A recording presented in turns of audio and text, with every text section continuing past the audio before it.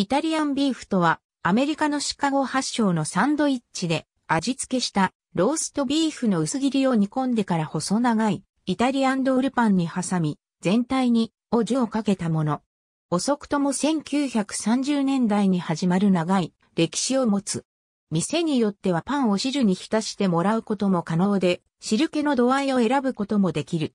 トッピングとして用いられる唐辛子には甘い種類のものと辛い種類のものがある。イタリアンビーフサンドイッチは多くの地域のホットドッグスタンド、ピッツェリア、アメリカ風イタリア料理店で一般に食べられている。イリノイ州北東部、ウィスコンシン州南東部、インディアナ州北西部、フォートウェイン、インディアナポリスがその中心である。近年では、シカゴ出身者によって、全米各地にイタリアンビーフを出すレストランが開かれている。牛肉の部位としては、もも肉が用いられる。硬くて安い肉に適した調理法とも言われるが、肉汁の重要性から、霜降りの肉が使われることもある。塊肉に、ニンニク、オレガノ、胡椒や、ナツメグなどの香辛料をまぶし、スープストックに浸したままオーブンでローストして全体に火を通す。長時間じっくり加熱された肉は45%ほども縮み、肉汁の混じったスープがイタリアンビーフ特有の樹となる。焼き上がった肉を冷ましてからスライサーで薄く切り、温め直したスープに戻す。その後、多くは数時間にわたって煮込む。牛肉が煮上がったら、縦に切り込みを入れた細長いパンに挟んで、サンドイッチとする。パンは、皮が薄く、中身がみっしり詰まったタイプのものが用いられる。トッピングとしては、ホットと呼ばれるジャルディニエーラ、もしくは、スイートと呼ばれるソテーしたペペロンチーニが乗せられる。最後に、肉の調理に用いた汁をサンドイッチ全体に吸わせる。汁気の程度は、注文時に好みに応じて選ぶことができる。用語は店によって異なるが、ディップとは、パンを煮汁にさっと浸したもの、ジューシーはそれより、汁気の多いもの、ソークとは雫が垂れるほどのものを言う。汁をかけないものはドライとなる。日本人の間でイタリアンビーフは牛丼のつゆだくのようなと説明されることがある。イタリアンビーフの製造者や小売店の間ではこのような無駄が多い調理法を見直す動きがある。牛肉のロスを減らすため、ポリエステルやナイロンの調理バッグに牛肉を入れて低温調理を行う調理法はその一例だが、その場合、調理時間は短縮されるが、肉の見た目が変わってしまう上に、おじゅが十分に出ない。イタリアンビーフは、ロースト時の肉汁にパンごと浸すのが本来の形なので、効率を優先する作り方では価値が下がってしまう。また、企業によっては生産量を高めるためグルタミン酸ナトリウムやリン酸塩のような添加物を加えるところもある。ジャルディニエーラを乗せたホットイタリアンビーフ。ペペロンチーニを添えたスイートイタリアンビーフ。イタリアンビーフが煮込まれている。正確な期限は明らかになっていないが、1900年代の初めにシカゴの精肉業地区ユニオンストックヤーズで働いていたイタリア系移民が生み出したと信じられている。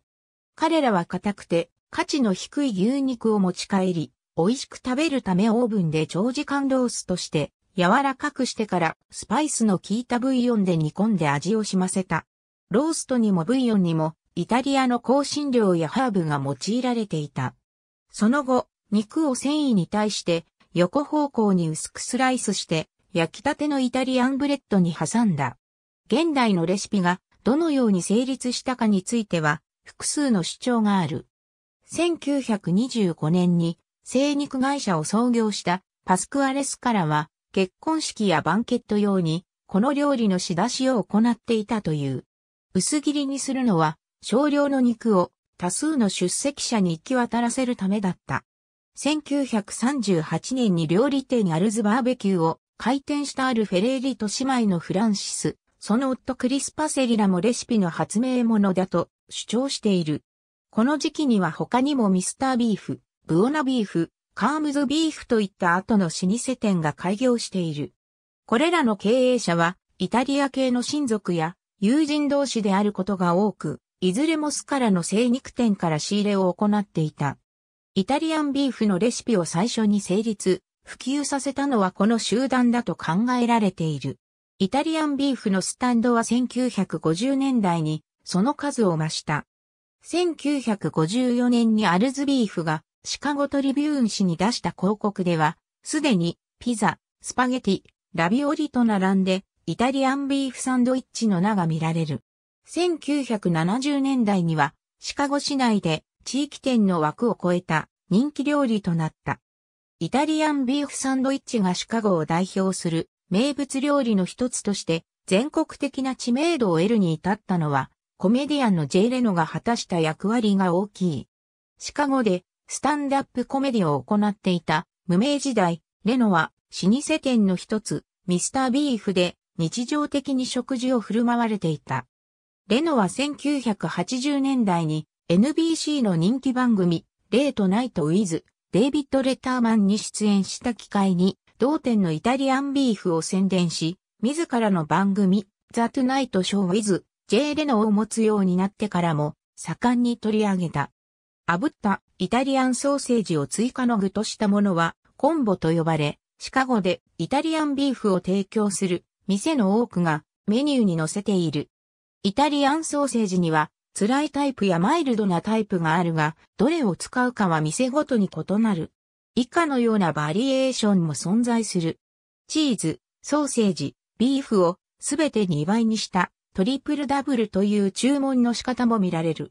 さらに稀だが、イタリアンブレッドの代わりに大きめのクロワッサンを用いるものやマリナーラソースをかけたものもある。イタリアンビーフを食べるときには、滴る汁から服を守るために、イタリアンスタンスと呼ばれる前傾姿勢が取られる。一例は以下の通りである。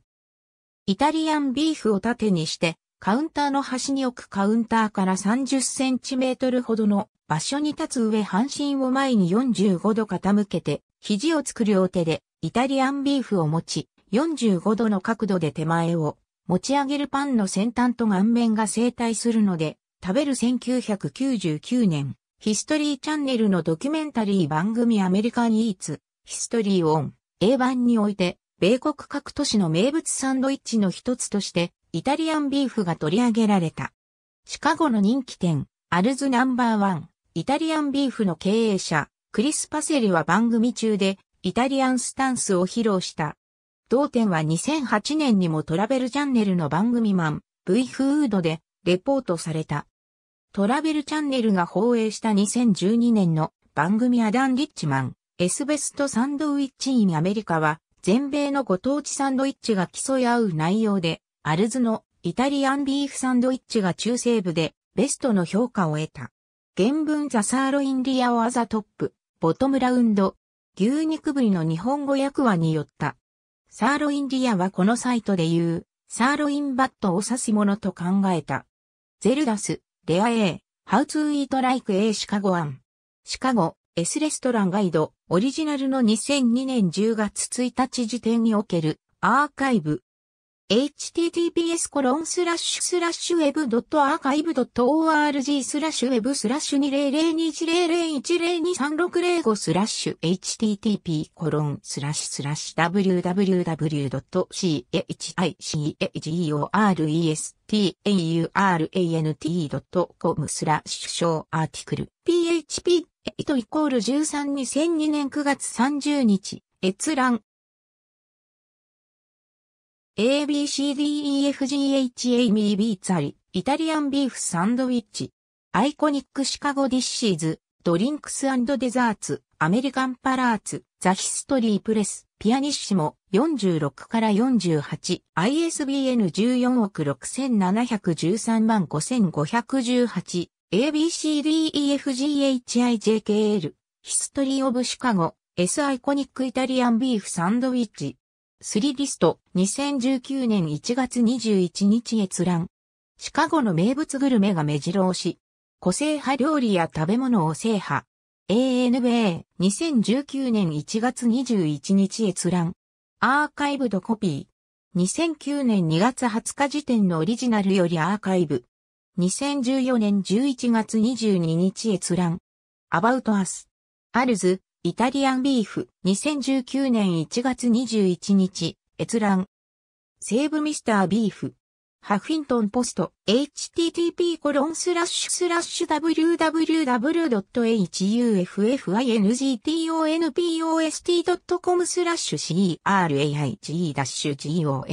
craig-goltwyn スラッシュ save-mr-beef-b167076 html ハットサンドイッチツ chicagojoes.net 2011年9月19日時点のオリジナルよりアーカイブ。2011年7月10日閲覧。ありがとうございます。